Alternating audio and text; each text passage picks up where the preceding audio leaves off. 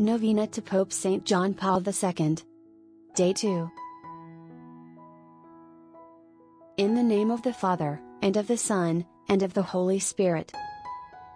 Amen. St. John Paul II.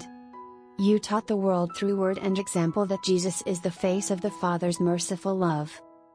You called upon the world to be not afraid and open wide the doors for Christ.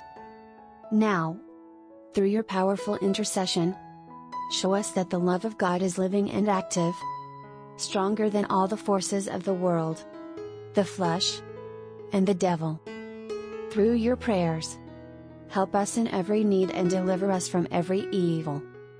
May we always know by experience the love of God the Father mediated through Jesus Christ by the power of the Holy Spirit.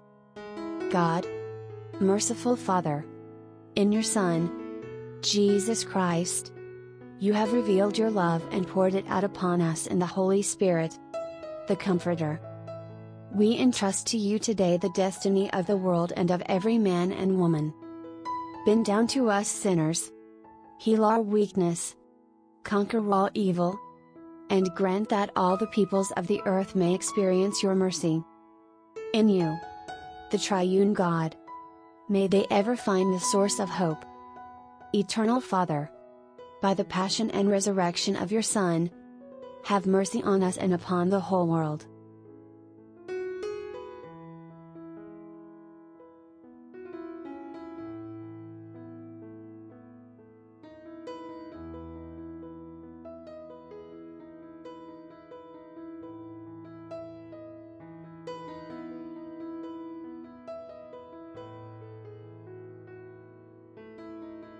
Amen.